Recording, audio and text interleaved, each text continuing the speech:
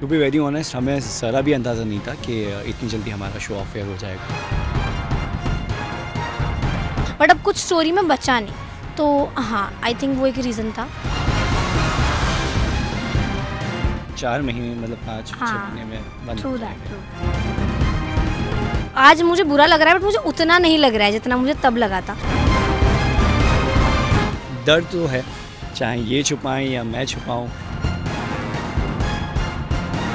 But I think कल शायद बह सकते हैं आँसू। नहीं बह गए बह गए अभी।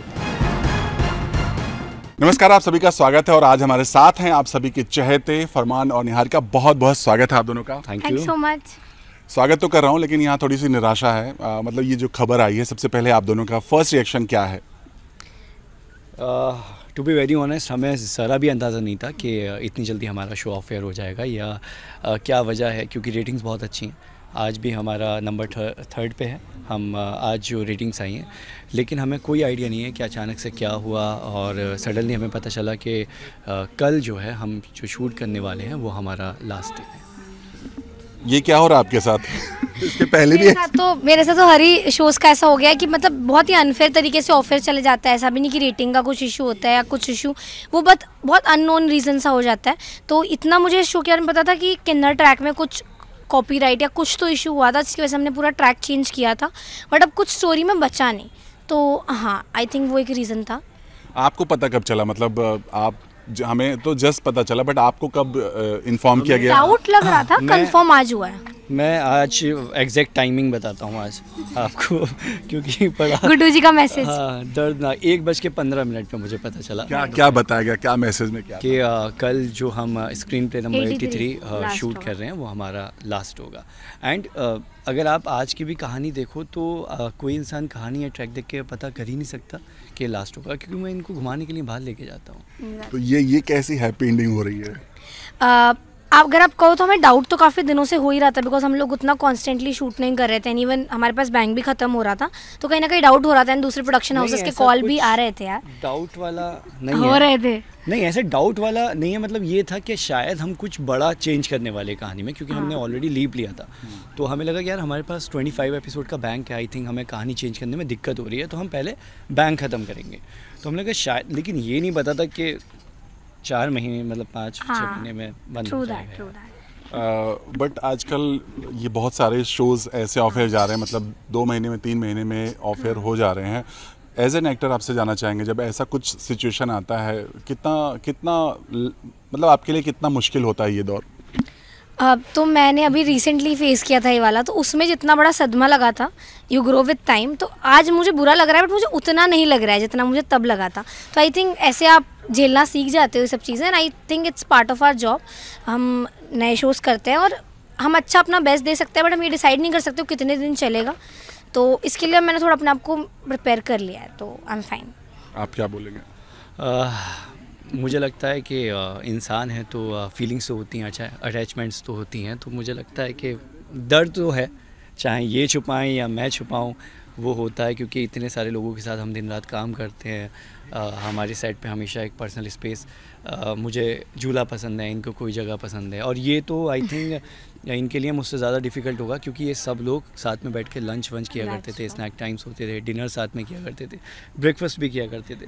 अ, जिसकी मैंने आदत डाल ली थी अकेला रहने की ताकि अ, कभी भी हम दो चार साल बाद ऐसे सो, सोचा नहीं था इतनी जल्दी जाएँगे ताकि इतना दुख ना हो। आ, जैसा इन्होंने कहा कि चूँकि कल लास्ट डेट है आँसू बहेंगे? यार अब ये तो बड़ी नहीं रो रही थी अभी मैंने देखा।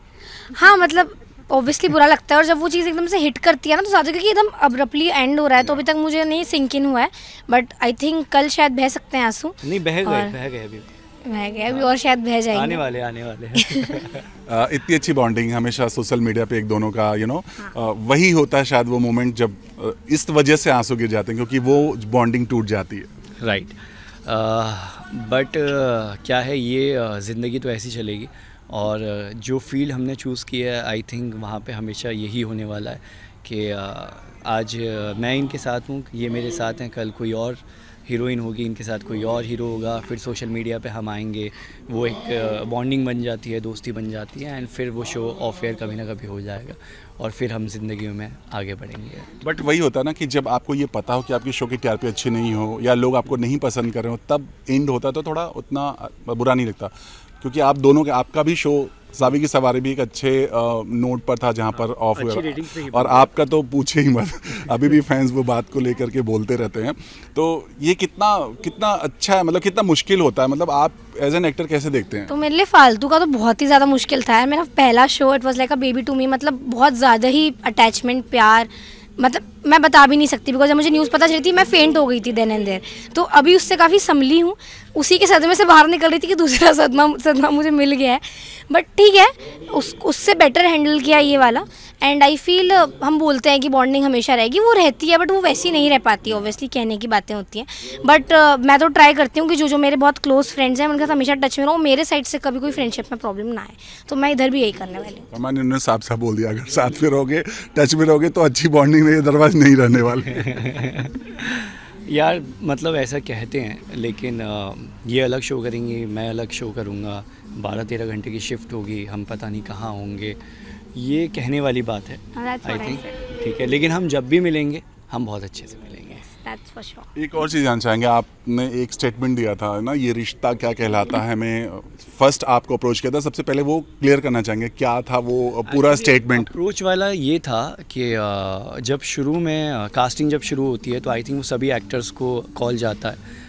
कोऑर्डिनेटर्स भी कॉल करते हैं और मेरे पास भी कॉल आया था। जब जेनेशन फोर का चल रहा था आई थिंक तुम्हारे पास भी आया था। तो अ, तो जब मेरे पास कॉल आया तो मैंने बोल दिया कि भाई मैं कॉन्ट्रैक्ट साइन कर चुका हूँ और अब मैं बिज़ी हूँ। मेरा तो ये वाला था कि मैंने ये रिश्ता ऑलरेडी किया हुआ है। Generation three I was playing Abhimanyu की बहन। तो वो तो मैं वैसे भी ये रिश्ता कभी नहीं कर सकती because I have already played a character role in it तो मेरा तो डिफरेंट ही था। तो जब आपको पता चला तो सबसे पहले आपने कोशिश की प्रोडक्शन से बात करने की या प्रोड्यूस किसी से बात करने की कोशिश की? बिल्कुल नहीं की मैंने। और आई थिंक करनी भी नहीं चाहिए अगर आप रीज़न जाने के लिए कि what is the reason behind that किस चीज़ के बारे में? अ, नहीं हमने बिल्कुल नहीं की क्योंकि आई थिंक कोई भी प्रोड्यूसर ना अपने शो को बचाने के लिए अपने शो पे मेहनत करने के लिए एंड एक बात सच है कि रश्मि मैम बहुत डेडिकेटेड है। अपने काम को लेके स्क्रिप्ट को लेके, हमारे कॉस्ट्यूम रिपीट्स नहीं होते थे कुछ भी चीज़ रिपीट नहीं होती थी। तो मुझे लगा ऐसे में उनसे बात करके, क्योंकि जितना हमें बुरा लग रहा है, उतना ही उनको भी बुरा लग रहा होगा तो उसमें क्या ही बात करनी है। उनके लिए भी बहुत डिफ़िकल्ट रहा होगा। और मुझे नहीं लगता कि ऐसे में किसी भी, मैंने लास्ट शो भी जब ऑफ़र हुआ, तब भी प्रोड्यूसर से या किसी से बात नहीं की। हम मिले बाद में भी और तब भी हमने बात नहीं की कि क्या हुआ, लेकिन दुख होता है। कितना मिस करने वाले हैं? सेट लोग स्पेशली आप दोनों की बॉन्डिंग नहीं ऑब्वियसली आई मिस मतलब मिलेंगे आगे भी मिलेंगे फ्रेंड्स तो रहेंगे तुम्हें मेरे ऐसा नहीं मिलेगा। ओके फाइन नहीं to be honest till date सच है ये सच बोल रहा है। नहीं to be very honest till date best को एक्टर बोलूँगी बिकॉज़ कभी भी कोई क्लैशेज हुए नहीं है बहुत ही हमने स्मूथली शूट किया एंड बहुत ही बहुत सारे एक्टर्स बहुत इनसिक्योर होते हैं। Is not insecure as an actor और काफ़ी कंफर्टेबल मुझे हमेशा फील कराया है। तो मेरे जो बेस्ट को एक्टर की जो टॉप लिस्ट होगी उसमें डेफिनेटली तो होंगे। अभी आगे क्या क्या पता और अच्छा हीरो मिल जाए बट अभी तक तो यही। Thank you thank you but तुम ये भी तारीफ़ करो, बहुत चलो बहुत स्वीट है बहुत प्यारी है। कभी अ, किसी चीज़ का बुरा नहीं माना और मैंने बहुत अ, ऐसे मज़ाक मस्ती में छेड़ा भी है परेशान भी किया है। प्रोफेशनल है। लाइंस प्रॉपर इसको याद रहती है। तो एक अच्छी जर्नी थी एक अच्छी को एक्टर के साथ। जो भी लोग देख रहे हैं ये इंटरव्यू या जो उनको ये पता चल रहा है इस इंटरव्यू के ज़रिए कि ये शो ऑफ़ एयर जा रहा है उनको कुछ कहना चाहेंगे? क्योंकि वो वो भी बहुत शॉक्ड होंगे आप दोनों की तरह। तो डोंट वरी गाइस जो होता है अच्छे के लिए होता है। हम आपको फिर नए कैरेक्टर्स नए अवतारों में दिखेंगे। हम तो मिलते रहेंगे यार यही है यही काम करना है। क्योंकि बहुत ज़्यादा टैक्स आने शुरू हो गए थे आफ्टर लीप और यूट्यूब भी आई थिंक फोर मिलियंस सबसे बुरी बात यह है आज हमारे शो ने हंड्रेड एपिसोड्स कंप्लीट किए सारे फैंस हंड्रेड एपिसोड्स को एडिट बना बना के टैग कर रहे हैं। अभी उनको पता ही नहीं है कि तो शो तो बंद हो रहा है। तो वो बड़ा और सैड है। सो हम दिल से आप सभी से माफ़ी मांगना चाहते हैं। हमारे बस में जितना था हमने कोशिश की और हमने सोचा भी और हमने हमने अभी तक हम अपना बेस्ट देने की कोशिश कर रहे हैं और कल तक हम बेस्ट देने की कोशिश करेंगे। कल की रात थोड़ी सी गमगीन होगी लेकिन या आँसू बहेंगे नहीं हर का हाँ श्योर तो चलिए कहते हैं ना कि यहाँ से तो एंड हो रहा है बट कहीं ना कहीं नए जगह से नई शुरुआत होगी और ऑडियंस के दिलों में अपनी जगह बनाएँगे। थैंक यू सो मच हमसे बात करने के लिए और उम्मीद करते हैं नए अवतार में नए तेवर, नए कलर के साथ फिर से आए। Thanks Lord thank you so much